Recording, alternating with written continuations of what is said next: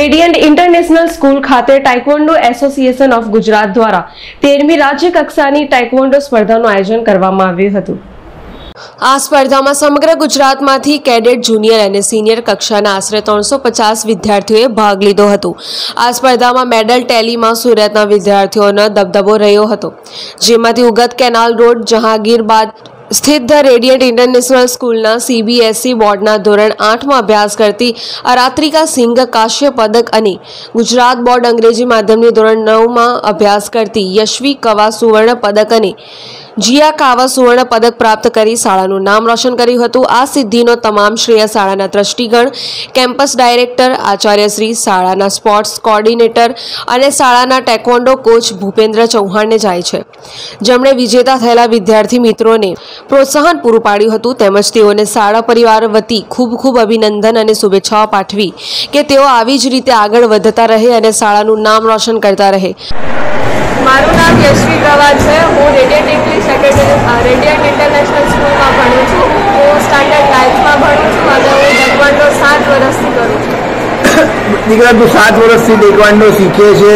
આજે જ્યારે સુરતમાં કોમ્પિટિશન છે કેવું લાગી રહ્યું છે? બહુ સારું લાગે છે અને હું કોશિશ કરીશ કે હું મારો પૂરો પરફોર્મન્સ દઈ તું સાત વર્ષથી શીખે છે આની પહેલાં તું ક્યાં ક્યાં કોમ્પિટિશન રમી આવ્યું ટેકવાન્ડોની હું બાર નેશનલ બી ને ઇન્ટરનેશનલ બી ગઈ છું. ત્યાં તારું કોમ્પિટિશનમાં શું તારું ટોપ રહેલું હતું તે વિશે મને એકવાર મારો બ્રોન્ઝ આવેલો એકવાર સિલ્વર આવેલો અને મેં ઇન્ટરનેશનલમાં પાર્ટિસિપેટ કર્યું છે. આજે જ્યારે તું અહીંયા રમી રહી છે તારું કેવું પરફોર્મન્સ છે? બહુ સારું પરફોર્મન્સ આપ્યું છે અને હજી મારી ફાઇટ્સ બાકી ફાઇટ બાકી છે આમાં બીજાને મારવાનું હોય તે વખતે કયા પ્રકારનો જુસ્સો તમારામાં હોય છે? એટલો જુસ્સો હોય કે બસ સામેવાળાને મારી જ દઉં. આ આ રહીમાં પછી તમે તમારા મગજને કેવી રીતે શાંત કરતા હો છો?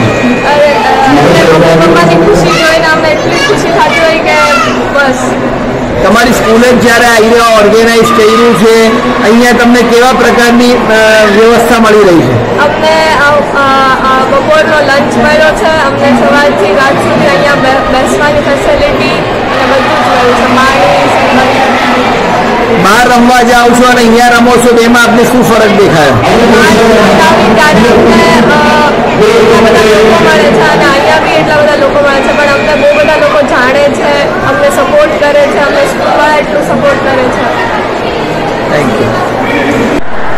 મારું નામ જીયા કાવા છે, હું ધ રેડિયા ઇન્ટરનેશનલ સ્કૂલમાં ભણું છું નાઇન્થ સ્ટાન્ડર્ડમાં છું હું ટાઇકવાન્ડો લાસ્ટ છ વર્ષથી કરું છું.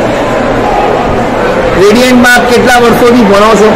હું ફિફ્થ સ્ટાન્ડર્ડમાંથી ત્યારથી સ્કૂલમાં ભણું છું એટલે મને ચાર વર્ષ થઈ ગયા. ચાર વર્ષથી આપ આ સ્કૂલમાં ભણો છો ટેકવન્ડોની પ્રેક્ટિસ કરો છો. કયા પ્રકારની ફેસિલિટીઝ રેડિયન્ટ સ્કૂલ તમને પૂરી પાડે છે?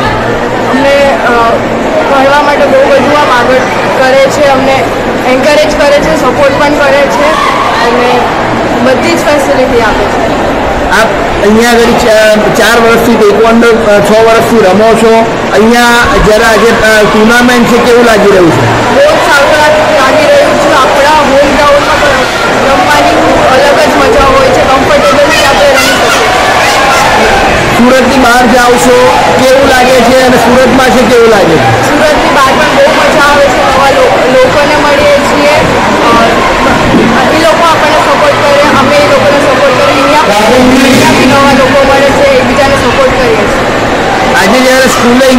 અહીંયા કયું છે કેવા પ્રકારની વ્યવસ્થા તમારી અહીંયા આગળ પૂરી પાડી છે?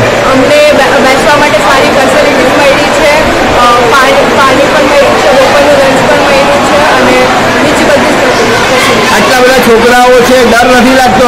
ના હું લાસ્ટ છ વર્ષથી કરું છું એટલે આવા મને ડર નથી મારું નામ ચૌહાણ ભૂપેન્દ્ર જીતેન્દ્રભાઈ છે. હું ધ રેડિયન ઇન્ટરનેશનલ સ્કૂલની અંદર ટાઇકોન્ડો કોચ છું. અને અત્યારે હું અહીંયા ટાઇકોન્ડોની ટ્રેનિંગ આપી રહ્યો છું. આજે અમારી the Radiant International School Ugat Canal Road પર રાજ્ય કક્ષાની ફેડરેશનની ટુર્નામેન્ટ ઓર્ગેનાઇઝ કરવામાં આવી હતી, જેમાંથી ગુજરાતના અલગ અલગ જિલ્લામાંથી સાડી ત્રણસોથી વધારે છોકરા અને છોકરીઓએ આમાં ભાગ લીધો હતો.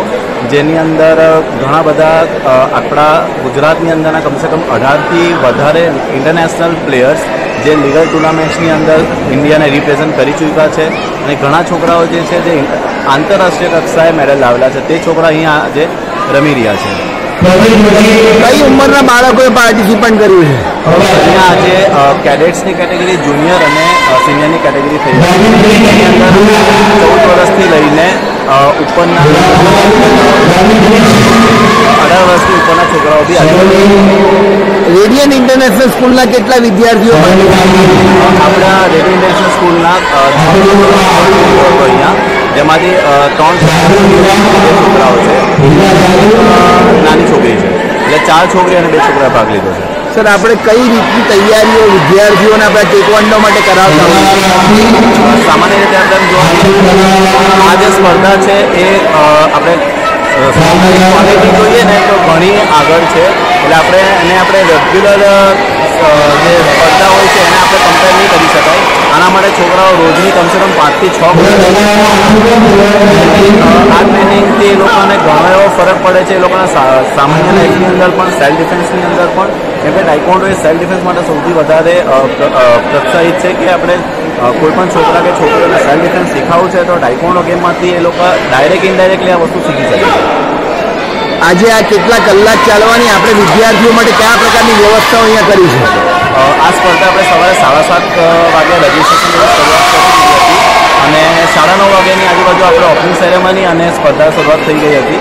અને ત્યાં ઉપરાંત આપણે છોકરાઓ માટે પાણીની વ્યવસ્થા કરેલી છે, છોકરાઓને જમવા માટેની વ્યવસ્થા થઈ ગઈ છે. આ ઉપરાંત તેમને કોઈપણ પ્રકારની મેડિકલની કોઈ પણ સુવિધા જણાય તો એ લોકોને તાત્કાલિક પણ આપણે મેડિકલની સુવિધા બી પ્રોવાઈડ કરી છે. અને છોકરાઓ ઘણા એવા સારી રીતે રમી રહ્યા છે, એ લોકોને સારું એવું પ્લેટફોર્મ મળી રહ્યું છે. આ ઉપરાંત ગુજરાત રાજ્યની અંદર પ્રથમ વખત એવું થયું છે કે નેશનલ અને ઇન્ટરનેશનલ લેવલ પર જે સિસ્ટમ વાપરવામાં આવે છે, જેને કહેવાય પીએસએસ જે ઇલેક્ટ્રોનિક સિસ્ટમ હોય છે, તે સિસ્ટમ આ વખતે આપણે રાજ્ય કક્ષાની સ્પર્ધામાં પ્રોવાઈડ કરી છે. અને જે ખૂબ જ કોસ્ટલી હોય છે, પણ આપણે આ વસ્તુ અહીંયા પ્રોવાઈડ કરી છે, જેના કારણે જ આજે આટલા બધા છોકરાઓ અહીંયા રમવા આવી રહ્યા છે. અંતમાં વિદ્યાર્થીઓને શું સંદેશ પાઠવશું વિદ્યાર્થીને એટલો સંદેશ પાઠવીશ કે હાર અને જીત તો થતી રહી છે પરંતુ આપણે જેટલું આ રમતને વધુને વધુ મહેનત કરશું અને પ્રેક્ટિસ કરશું પસંદ કરતા આપણને જીવનમાં સફળતા તો મળશે જ. હાર જીત તો મેડલ ને બધું તો ઠીક છે પરંતુ આપણે આપણી લાઈફની અંદર એક સો બચાવની તાલીમ તો મેળવી શકશું. થેન્ક યુ પરેશ મારું જનસાક્ષી ન્યૂઝ સુરત.